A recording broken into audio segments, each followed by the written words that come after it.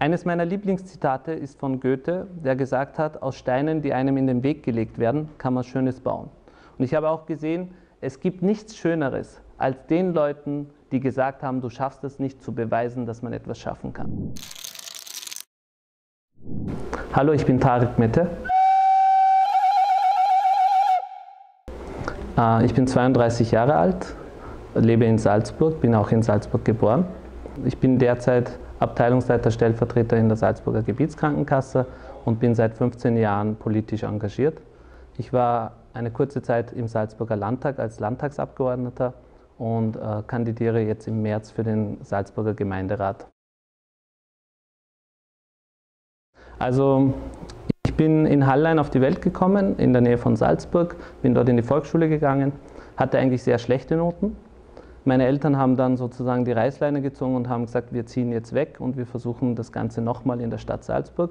Ich bin dort dann in die Schule gegangen, bin dann sofort ins Gymnasium gekommen, habe das Gymnasium dann mit Auszeichnung abgeschlossen, habe ähm, dann angefangen, Rechtswissenschaften zu studieren, habe Rechtswissenschaften abgeschlossen, habe das Gerichtsjahr begonnen. Nach dem Gerichtsjahr habe ich Europawissenschaften und Politikwissenschaften studiert Danach habe ich meinen Doktor gemacht in Rechtswissenschaften und zusätzlich, da ich jetzt im Gesundheitsbereich beruflich tätig bin, habe ich einen äh, Master in Healthcare Management gemacht und auch einen Master in General Management. Um ehrlich zu sein, ich wollte eigentlich Arzt werden. Das war eigentlich schon immer mein Wunsch. Ähm, aber leider ist mein Vater recht früh gestorben und ich konnte leider nicht weg von Salzburg. Ich wollte eigentlich in Wien studieren. Ähm, danach habe ich mich entschieden, in Salzburg zu bleiben und meine zweite Wahl war Rechtswissenschaften. Ähm, ich habe aber am Gericht, als ich das Gerichtsjahr gemacht habe, äh, erkannt, dass ich eigentlich nicht Rechtsanwalt, Richter oder Staatsanwalt sein möchte und habe dann als, als Mitarbeiter im Salzburger Landtag angefangen. Danach habe ich als parlamentarischer Mitarbeiter gearbeitet für einen Nationalratsabgeordneten und bin dann später zur Salzburger Gebietskrankenkasse gekommen. Also ich hatte eine sehr schöne Kindheit. Ich, habe, äh, ich bin in einer größeren Familie aufgewachsen. Ich war der jüngste Sohn in der Familie und ähm, ähm, meine Kindheit hat aber abrupt geendet, als, als ich 17 Jahre alt gewesen bin und mein Vater gestorben ist. Ab dem Zeitpunkt habe ich erwachsen sein müssen. Und das war notwendig, weil einfach die Situation sich geändert hat. Und ähm, ich habe auch äh, ab dem Zeitpunkt eigentlich zum Arbeiten angefangen, habe auf verschiedensten Ebenen gearbeitet. Ich habe mein Studium mit Taxifahren finanziert, habe auch ähm, selber Grafik und Webdesign gemacht, habe äh, verschiedenste Dinge gemacht. Ich glaube, ich weiß nicht, ob man mir schon vor, vorab gesehen hat, dass, dass ich jetzt eine, weiß nicht, dass ich mich für Politik interessiere. Das hat sich eigentlich entwickelt. Ich habe eine gewisse Zeit gebraucht, ähm, bis ich gewusst habe, in welche Richtung es geht. Auch bei meinem Studium hat sich hat das Schicksal mehr entschieden als ich selbst. Und, aber ich glaube einfach auch daran, dass wenn sich manche Türen schließen, dass sich anderswo einfach manche Türen auch öffnen können. Und ich wollte eigentlich unbedingt, ich habe ja schon erzählt, Arzt werden. Und ich bin jetzt über Ecken doch wieder im Gesundheitssystem gelandet, weil ich arbeite in einer, in einer Institution, die ähm, den Menschen Gesundheitsversorgung bieten kann. Und ich finde das total spannend. Und jetzt habe ich doch obwohl ich eigentlich grundsätzlich Jurist bin vom Hauptberuf, im Gesundheitswesen doch arbeiten können und gestalten können. Und das ist schon etwas Schönes. Also ich sage mal so, wie gesagt, bei mir war das eher ein Prozess, der mehrere Jahre gedauert hat. Als ich angefangen habe, mich politisch zu engagieren, war das jetzt nicht der Grund, dass ich jetzt irgendwann ein Mandat haben wollte, sondern ich wollte mich eigentlich wirklich äh, engagieren, damit es insgesamt besser wird. Vielleicht ein Schlüsselerlebnis, das mir persönlich einfach auch äh, gezeigt hat, dass etwas gemacht werden muss. Ähm, es ist nämlich so, dass ich davon überzeugt bin, dass die Politik den Menschen Perspektiven bieten muss. Unabhängig davon, äh, wie alt sie sind, welches Geschlecht sie haben oder welche Herkunft sie haben. Und ähm, diese Perspektiven, diese Chancen und Möglichkeiten muss die Politik bieten.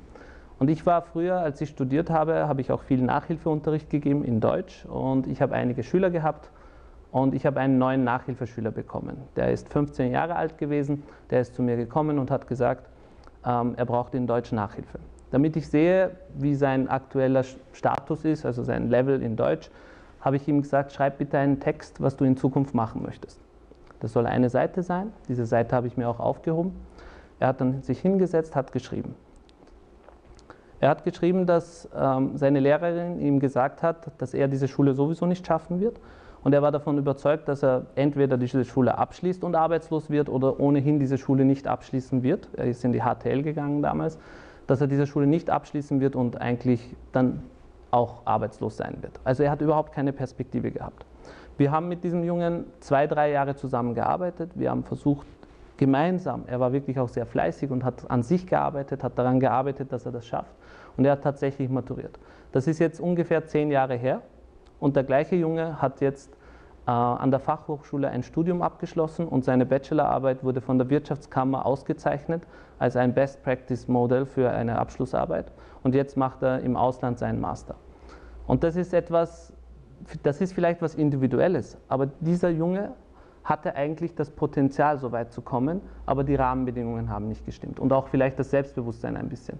Und ich glaube, in dem Fall haben wir es durch Unterstützung, vielleicht durch Nachhilfe, durch andere Dinge, haben wir es geschafft, ihn durch diese schwierige Phase durchzubekommen. Aber ich glaube, die Politik muss es insgesamt schaffen, den Menschen die Rahmenbedingungen zu bieten, dass sie sich individuell entfalten können. Eines meiner Lieblingszitate ist von Goethe, der gesagt hat, aus Steinen, die einem in den Weg gelegt werden, kann man Schönes bauen. Und ich habe auch gesehen, es gibt nichts Schöneres, als den Leuten, die gesagt haben, du schaffst es nicht, zu beweisen, dass man etwas schaffen kann. Und ich glaube, diese Motivation müssen wir alle gemeinsam aufbringen, damit wir die Ziele erreichen, die wir uns setzen. Es wird immer Menschen geben, die dir sagen, da ist eine Grenze erreicht. Ja? Und man darf sich von diesen Menschen nicht von den Zielen abbringen lassen. Ähm, ich habe in meinem Leben sehr viele Superblocker gehabt, aber ich habe auch sehr viele Menschen gehabt, die mich sehr unterstützt haben. Und das hält sich eigentlich in der Waage. Wir sehen aber oft das Negative und wir müssen aber auch schaffen, die positiven Geschichten zu erzählen. Weil wenn ich jetzt mit Menschen rede, verschiedenster Art, erzählen sie mir immer von den Superblockern. Aber es gibt ja auch Menschen, äh, eben diese Super Supporter, die dich unterstützen in deinen Zielen, die dir äh, mental Unterstützung geben, die dir menschlich unter Unterstützung geben, die dir in verschiedensten Lebensbereichen, sozial, kulturell, wirtschaftlich, gesellschaftlich, dich unterstützen, auch politisch. Und diese Unterstützung, man sollte sich eher auf die positiven Dinge konzentrieren, diese Superblocker wegblenden und dann sich auf die Ziele konzentrieren. Und ich, es ist wichtig, dass man Ziele hat, dass man Visionen hat, aber es ist auch wichtig, die einzelnen Schritte zu planen, die dorthin führen. Und da sehe ich ab und zu doch bei manchen Leuten ähm, noch ein gewisses Manko. Aber ich glaube, genau dort kann man, kann man ja die Menschen unterstützen, zu zeigen, das brauchst du, damit du deine Ziele erreichst. Das sind die Ressourcen, die du brauchst, damit du dorthin kommst, wo du hin möchtest. Ähnlich ist es meines Erachtens mit verschiedensten Minderheiten. Wir brauchen Menschen, die die Probleme dieser Gruppierungen artikulieren können. Wir haben sogar in der ersten Ebene schon Probleme. Wir schaffen es ja nicht einmal, die Probleme zu artikulieren.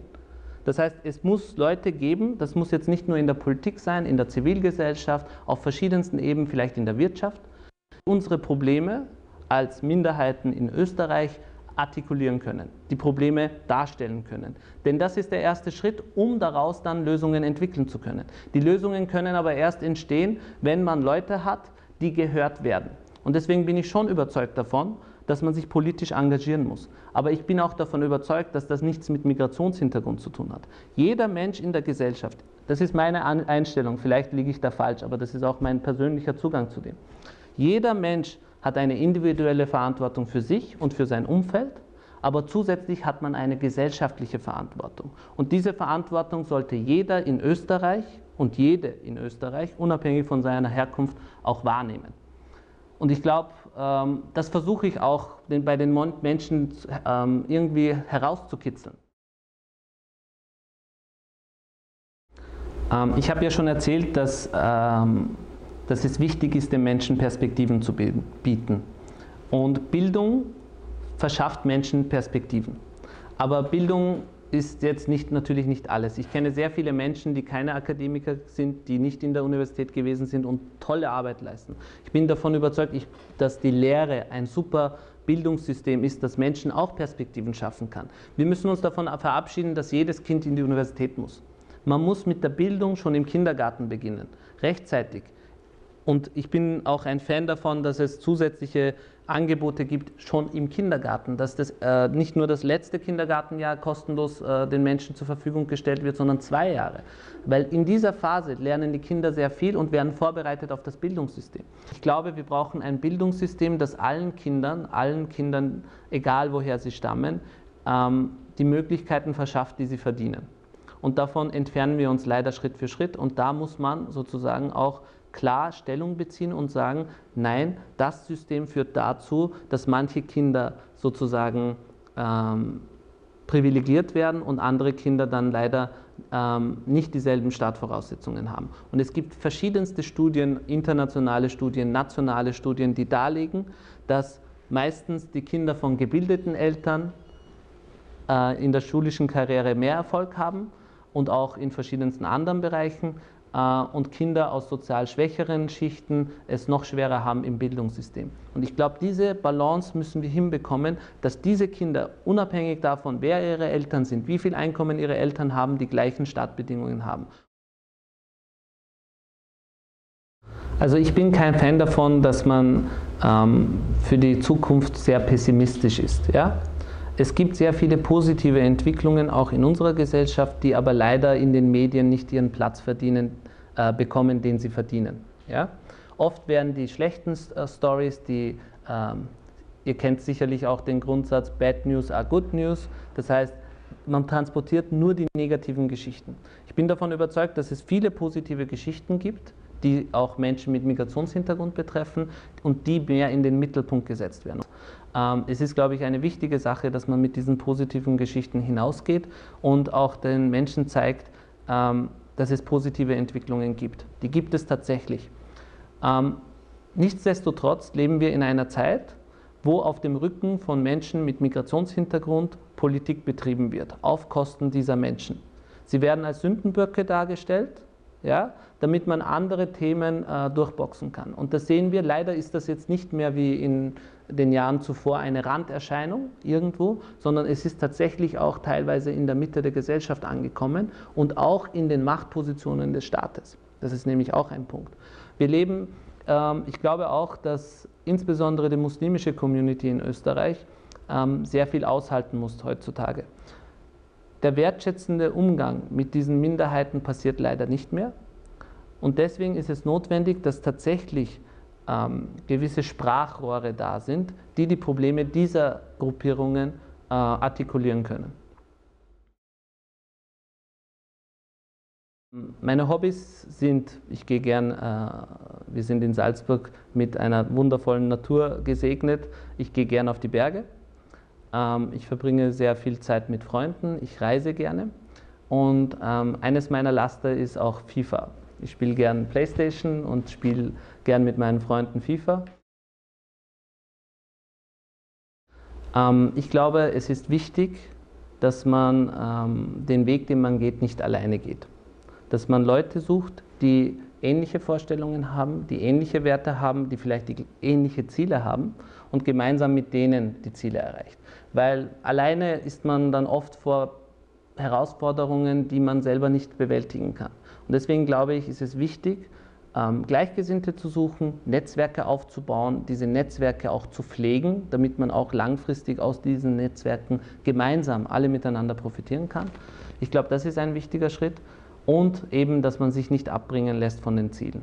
Weil es wird immer Leute geben, die sagen, du schaffst es nicht, du kannst es nicht, das ist, du hast eine Grenze erreicht und ähm, lasst euch nicht von diesen Menschen abbringen, lasst euch von diesen Menschen nicht von euren Zielen abbringen, habt das Ziel vor Augen und setzt jeden einzelnen Schritt vorwärts und jeder einzelne Schritt wird euch zu eurem Ziel näher bringen.